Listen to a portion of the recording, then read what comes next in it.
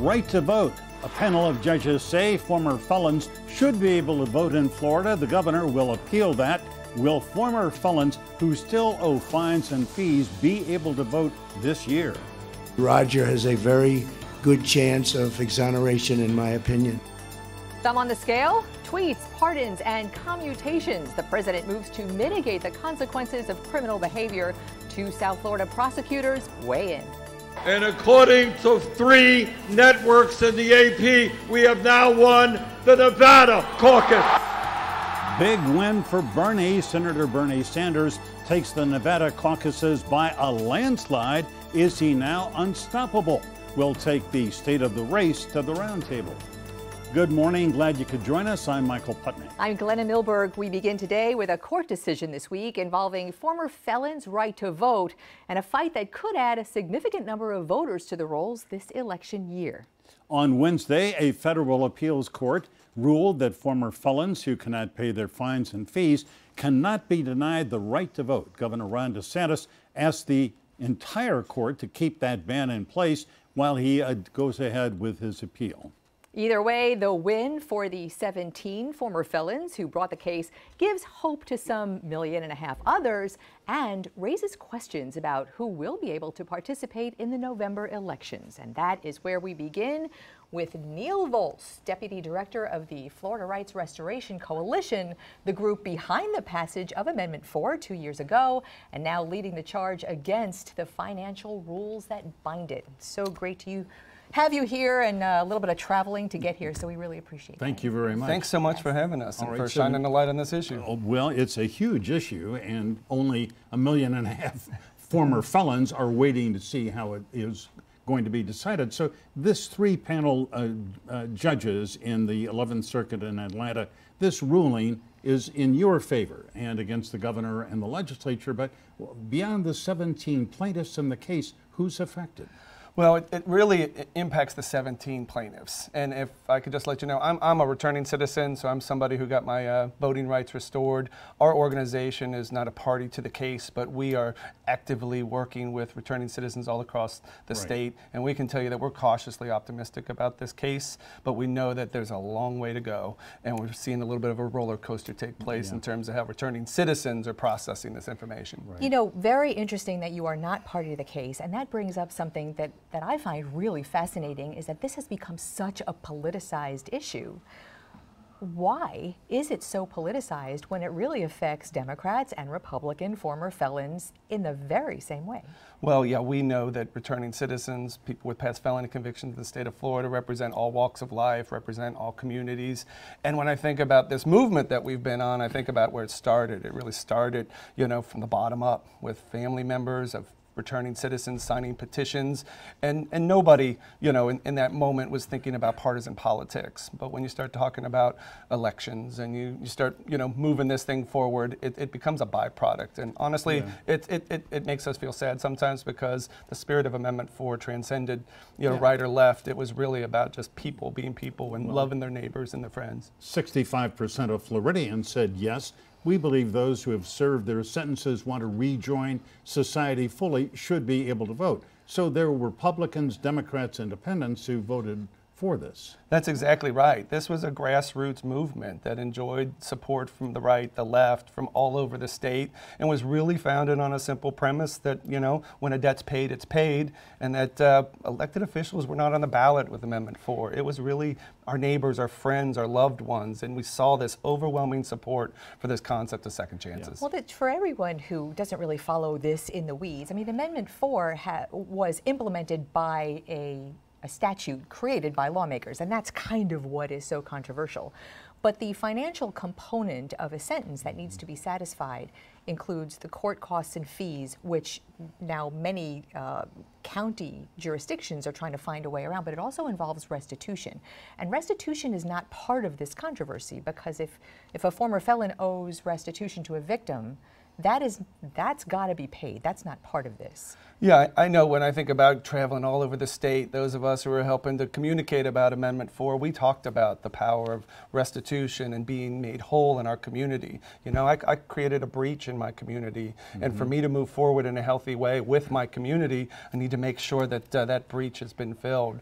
And so, what we're engaged in right now is a big conversation about what it means to complete your sentence and then how people can become eligible to vote. Yeah, Neil, as far as I can tell, there is kind of a bit of a, a checkerboard effect in the state. There are counties like Miami-Dade where uh, the state attorney and in Broward as well, maybe in uh, Orange County as well, have tried to say, all right, you can't pay your fees. Come in, we'll work out a deal where you can do community service. You can pay off that money over time, as it were. But this is not uniform in the state.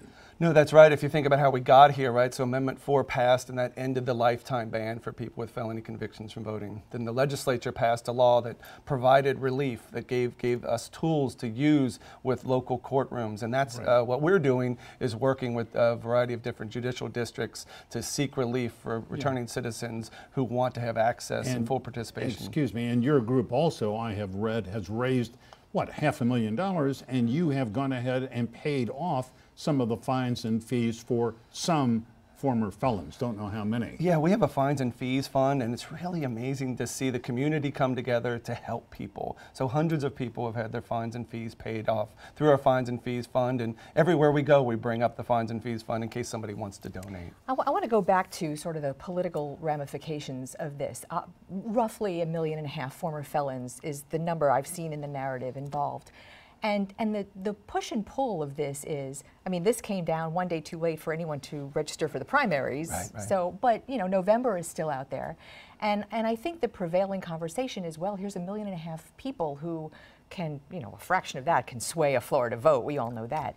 But but practically speaking, has has your organization really looked at well, how many people really are going to register to vote? Isn't this sort of reflective of, of the population where there's some very engaged people, but some not very engaged people who won't? Well, I think that's a really good question, and I think we, we know that tens of thousands of uh, past uh, people with past felony convictions have registered to vote. They represent a, a broad background of people, um, and folks that I get to spend so much time with. You know, what I like to say is, there's no one who's a better evangelist for democracy than somebody who lost the right to vote and got it back. So we have people really excited, and we're going to see, you know, over time, uh, how many people come out and what, what the ultimate impact is. But one thing we do know is is that it shifts the conversation around the issues, and that is by bringing these new voters on, we're starting to see more conversations around uh, public safety, criminal justice reform, and we think that that's a really healthy thing for our communities. Neil, bring us up to date. There were thousands of former felons who, when Amendment 4 passed, went into their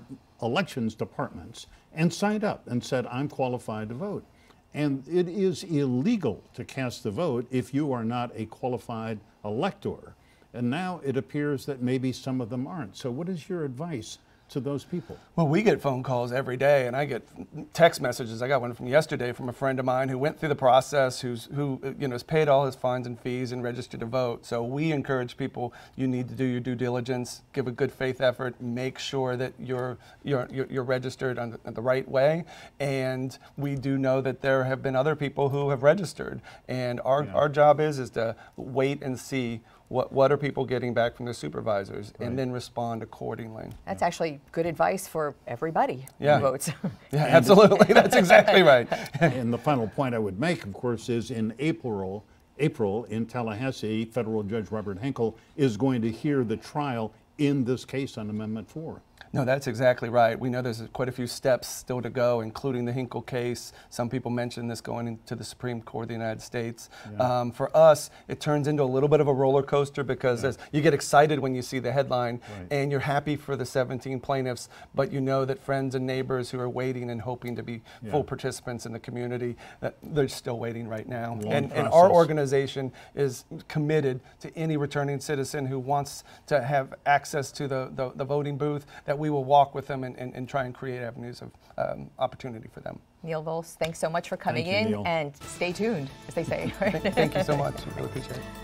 All right, up next, two former federal prosecutors are going to weigh in on the Roger Stone sentencing and the fact that the president has put himself right in the middle of it. Once again, there is a Florida connection to a big national story. The president tweeted about, yes, Broward resident Roger Stone's sentence, commuted the sentences of 11 white collar criminals, including that of Miami Dade's Judith Negron, and he also declared himself the nation's chief law enforcement officer. The president unleashed a storm of tweets blasting the prosecutors in the Roger Stone case, and he criticized the judge as well and said that the juror four woman uh, was biased. He supports a new trial for Roger Stone, his longtime friend and advisor. President's words set off shockwaves among current and former federal prosecutors. Some 2,000 of them signed a letter saying the president needs to butt out of the criminal justice system and that William Barr should resign. Two former South Florida prosecutors are here with us to talk all about it. Kendall Coffey served as U.S. Attorney for the Southern District under President Bill Clinton, and he is now in private practice. David Weinstein spent about 11 years as an assistant U.S. attorney here and is also now in private practice. Once prosecutors, still attorneys. Yes. Good morning. Good Hello. morning. David, Kendall, great to have you here. Well, I need not say you are excellent lawyers that the President of the United States historically has stayed out of commenting on pending or current trials, even trials once they've taken place often. But David Weinstein here, the President, you know, as soon as the prosecutor said seven to nine years for Roger Stone, bang, there he was saying, that's too much. These prosecutors are horrible. The juror, the lead forewoman, is biased. I mean, just inserted himself right into this. What did you think? That doesn't help. It doesn't help the people on the line, the people who are standing in front of the district court judge, asking for an appropriate sentence and looking to do what's just and right in the prosecution they've just undertaken. The president doesn't know all of the facts that are involved in the case as it was put together in the trial as it occurred in the courtroom. And to jump in and make those judgments and make those statements on a huge national platform really sets a bad precedent for those people who are in court trying to make sure the right thing is done. You know, Judge Amy Berman Jackson, Kendall Coffey, had said uh, after the new memo came out from the um, from the prosecutor's office, she said that didn't matter. That she was going to rule the way she was going to rule. Seven to nine years as a guideline. He got roughly half. I know everyone talks about it in months, but it is three and a half years. How how unusual really is that? Well, I expect judges to do just what she did, which is somehow eliminate all the noise from everybody, even looking past the papers of the prosecutors and the defense lawyers, who, after all, have clients to represent, and trying to get it right. And when you look at comparable sentences over the years, she pretty much seemed to have got it right. I was, I was thinking about uh, Scooter Libby. We all remember him. He got 30 months, and in some ways his crime was worse. In some ways it wasn't as bad. But you look at his 30 months, you look at Stone's 40 month. I think you've got a great example of what our, our federal judges do to make us so proud. They ignore it all and they follow the law. Okay, well, well, that said, then what what does it matter that the president weighed in? Again, it creates this impression that there is no autonomy for the people who are working in the executive department. I- I understand that the separation of powers doctrine works between the three branches of government, but within the Department of Justice and within that executive branch, normally there's not this heavy handed uh, play going into what's taking place. Yeah. Well, you saw a cause and effect moment, maybe, uh, Kendall, because after the president tweeted, it was the next morning that the uh, prosecutors, new prosecutors, went before Judge Berman and said, forget our seven to nine year recommendation, sentence Roger Stone to whatever you want. And William Barr later that day, in fact, in an interview with ABC News, said, Oh, that didn't influence me. I wasn't doing what the president wanted, but there is a perception that maybe he was. Well, and that's what the big problem is here. When, when these tweets are undermining the perception of justice, and that's all important. The reason so many prosecutors uh, took very strong, an unprecedented statement, is the idea of political meddling crawling inside the Department of Justice, which, which all of us who have had the privilege of serving really view as an ultimate institution of integrity. The fact of somebody trying to pull puppet strings on that is Yeah. horrifying. And that's why you saw the reaction. Right. And that's why I think the Attorney General needs to do more. in, in terms of communicating with the Show his offices. independence? It- well, communicate directly around the field. Maybe it's a goodwill tour, but he needs to make sure that he's not taking orders from Donald Trump about cases in our justice system. So, so this week, the president said, I am the chief law enforcement officer. He is the commander in chief. I, I, is that legitimate? Is he?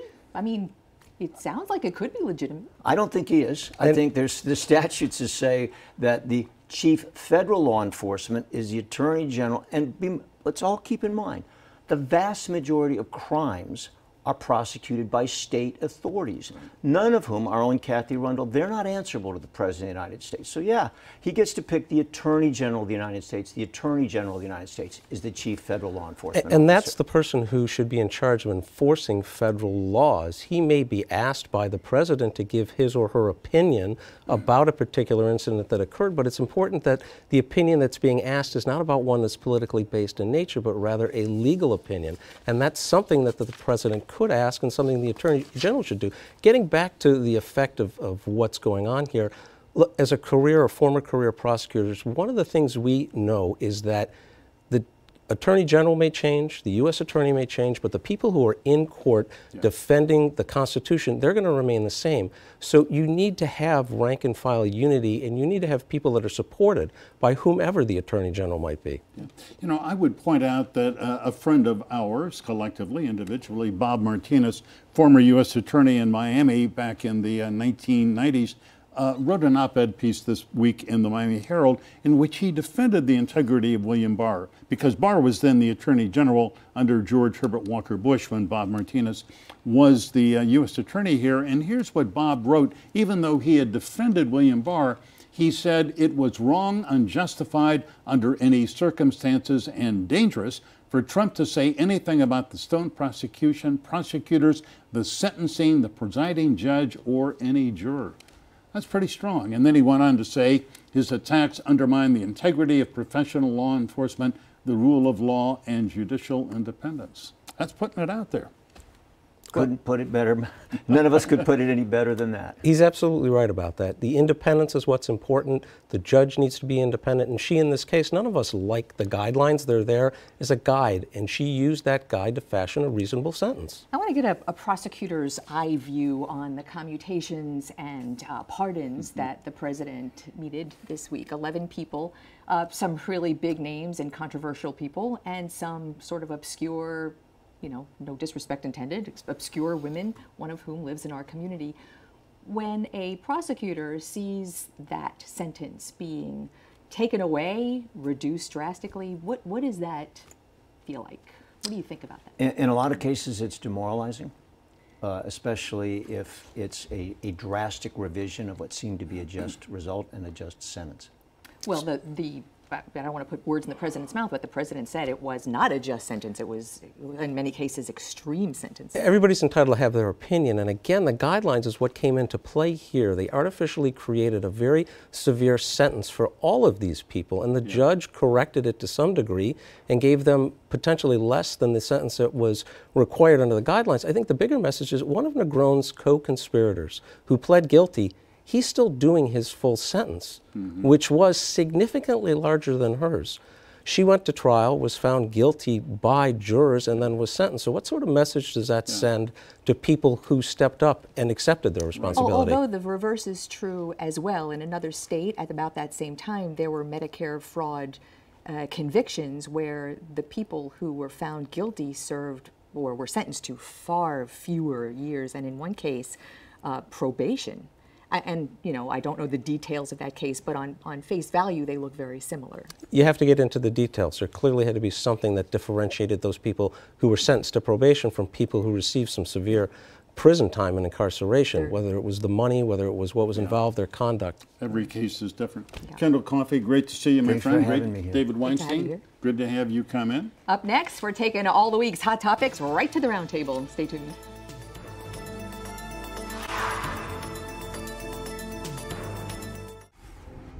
It has been another momentous week in the news, one big story after another. So, right now, we want to take a closer, more analytical look at a few of those stories with our Powerhouse Roundtable. And as always, we have a great one for you that crosses the spectrum of political points of view. Ed Pozzuoli is president of the Tripp Scott Law Firm in Fort Lauderdale and active in the Republican Party, both nationally and locally.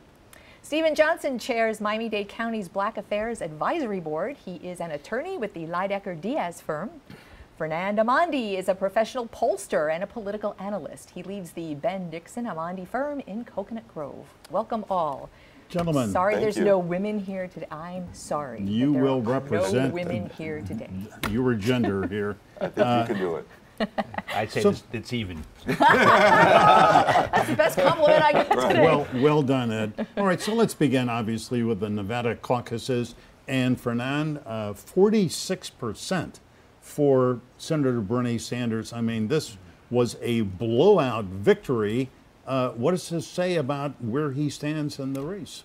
It says that uh, Bernie Sanders today, Michael, is the unquestioned frontrunner of the Democratic Party. And until other Democratic contenders start winning primaries, he's, uh, he's right now in pole position and certainly where you want to be if you were leading one of the campaigns for the Democratic candidates. Uh, it's a moment, I think, of concern for a lot of folks around the country that Why, want why concerned? because Bernie Sanders, a- an avowed socialist who over the course of his life has expressed uh, praise for a lot of dictators and leaders, especially knowing us here in South Florida, how mm-hmm. problematic that can be. And I think, Michael, the facts are Robert Mueller concluded in his investigation that there were two campaigns in 2016 that the Russians were actively trying to assist Donald Trump's campaign and Bernie Sanders. And we learned last week, again, the Russians are trying to infiltrate, according to our intelligence communities, Right. the, The Trump Sanders- and Sanders campaign. Okay, so if, if that's the case, they haven't yet, and still Bernie Sanders is in the pole position, is the leader. Uh, three states, a long way to go, but momentum is there, but, but it's not because of the Russians. No, well, I would say, it, particularly last night, it was because of Latino voters. And their message is hitting home, particularly with Mexican Americans. It's interesting to note because while I don't think that'll translate to South Florida, I will tell you, you've got Texas, you've got California, you're going to see some further tests of whether or not his message is actually going to translate to those voters. If he can create a coalition of voters uh, where you have Hispanic Americans and you have young people and you have socialists, I don't know if that gets you to the plurality needed to beat Donald Trump at all. In fact, I, I, I'm fearful as a Democrat, but it might get you what you need to go into the convention and come out the nominee. Yeah. Ed? Ed, yeah, Well- weigh in. I'm fearful as a, an American that we would actually put a socialist uh, on a ticket of a major party in this country because, as we know, anything can happen in a, in a November election. And so, from that standpoint, I'm concerned because uh, while we don't always agree, the first part of what you said, I totally agree with. I, I think that he is an avowed socialist. People need to understand what that means. This is somebody who has uh, hun- he honeymooned in Moscow for crying out loud. Uh, who And he does went that? to Nicaragua. Went to and hung out Nicaragua, with hung out with the Sandinistas. Ortega Right. I and mean, the I mean, Sandinistas. he was uh, uh, effusive with his compliment of the Castro. Castro regime. I mean, this is this is somebody who, at least with respect to my view, is outside of the realm of American pol- the American political spectrum. So- However, he's winning for two reasons. One, organization. You cannot be uh, unimpressed as a political Yeah. person looking at it. The organization that he showed in in, in uh, Nevada was substantial. I think you're going to see that again come Super Tuesday, and I don't think uh, that right now there is anybody who is uh, going to resist. And the issue for the Democrats is is this where their party is? And I think this is where their party is because if you look at what Bernie did in Nevada, and if you look at even Elizabeth Warren's support, you are looking at the fringe left of the American political spectrum. You can't really say that because if you look in aggregate, you see all of the candidates who are considered to be moderate candidates, and there's four and a half of them are splitting a much larger Yeah, I don't consider vote. Pete Buttigieg as a moderate candidate. But That- that was the half. Yeah, no, less than a half. But but look, the bottom line is that Bernie Sanders is going to be the nominee um, on on this Democratic Party as we sit today. I think about a, a month or so ago, everybody laughed when I think I sat at, at, at where Stephen was sitting, And I said, watch out for Bernie Sanders' organization is going to get Yeah. him the nomination. I, I will stipulate to that, Counselor. You know, uh, you are, Fernand, a professional pollster, and I am simply a political reporter. But all for all the reasons that you all have enumerated, I look forward to March 17th. And I think if Bernie Sanders were to win the Florida primary, there is no way that he would win in November. I think Donald Trump would win Florida easily. I mean, as, as terrifying as that, that is a thought as someone who's an American before anything else, I tend to agree with you. And I think part of the reason, Michael, is people say, well, look at Bernie in the head to heads now against Trump.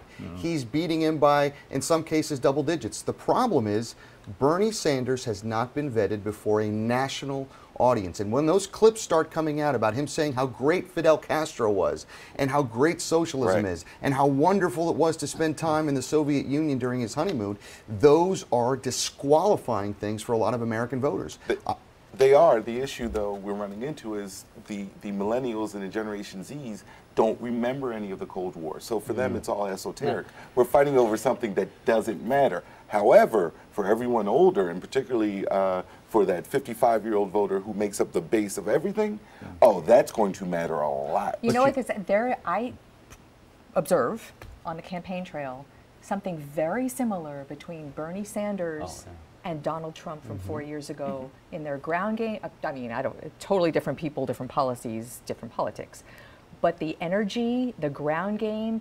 Their ability to pull in masses and absolutely control the masses narrative is very familiar. Yeah, and I think that's the, that's they're, they're, Bernie is tapping into a frustration in a certain sense, and, and a different part of the electorate for sure than Trump. But clearly, there's some similarity on that on that count. The one thing that was disappointing, at least if you're a Democrat, was that Mike Bloomberg took the stage this past week in a debate and really laid a big egg. I mean, literally looked like he was not prepared. He the the perception of him on the debate stage did not match come anywhere near what you saw what his impression was on the You commercials. mean on the four hundred million dollars he Oh, had spent God. on media? All right, let's hold your We'll thoughts. pick up we got to right come there. There back go. talk about that uh, Wednesday night debate with the roundtable. Stay with us.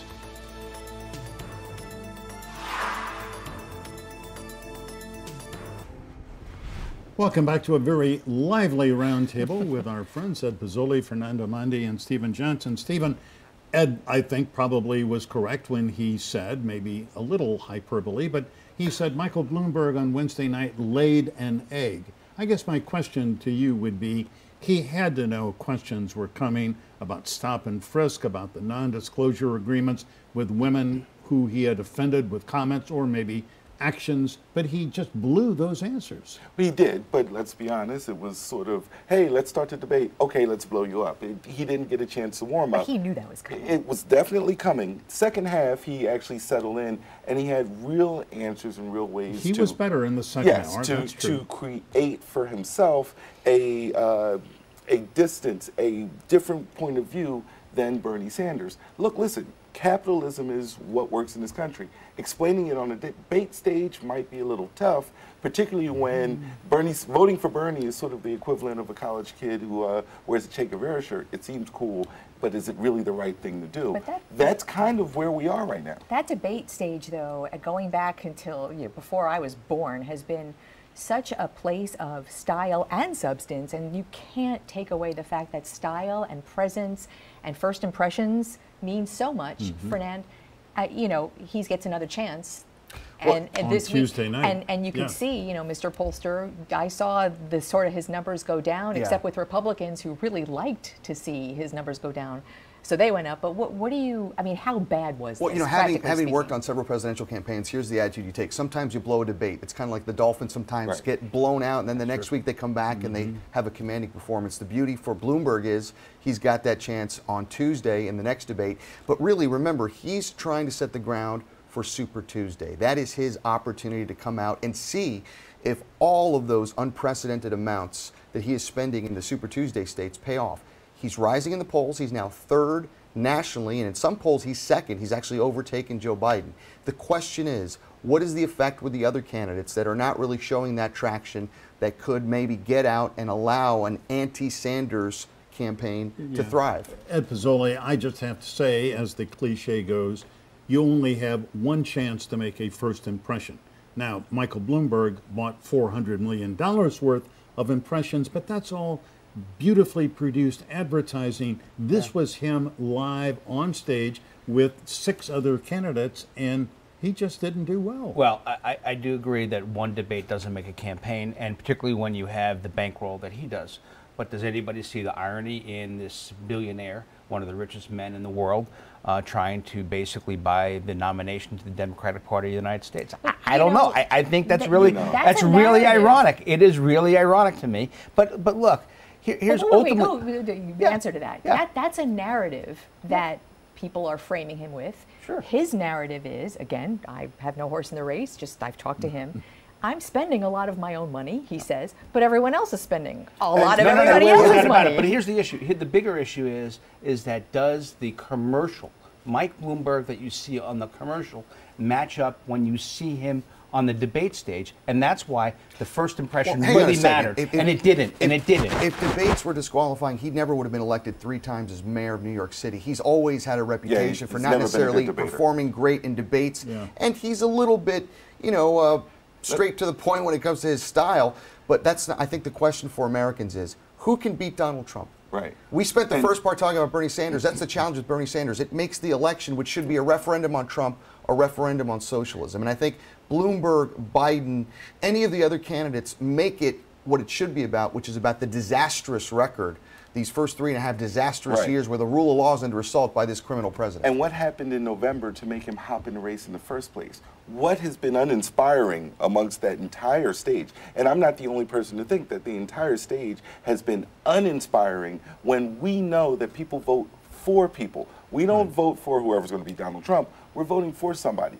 We think, and at least I think, that Bloomberg, if he gets the opportunity, will have a shot to beat Donald Trump. And we have a Supreme Court that's going to have a, a whole new makeup if you get another four years of Donald Trump. And I don't think even the Bernie bros and the Bernie sisters are going to enjoy the Supreme Court under Donald Trump if they stay home because they don't like the nominee that they got. But they, but they want a revolution. But look, uh, Sanders people want a revolution.